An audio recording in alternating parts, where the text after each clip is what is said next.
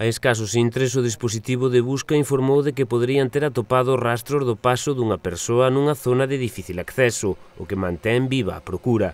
Dende a familia veñen de facer un chamamento para que no día de mañá, aproveitando que se trata dun festivo, os veciños que poidan se sumen á busca na medida do posible. A idea sería que participen as persoas que habitualmente fan sendeirismo ou percorren os camiños e viñedos da zona da Ribeira Chantadina para poder sumar datos a esta procura. Tamén poden axudar as persoas que teñen viñedos e adegas na zona ou que residen nas parroquias dende Belesar cara a zona de Asariña e Nogueira, xa que poden revisar as súas propias fincas ou construcións ao ter mellor acceso e coñecemento.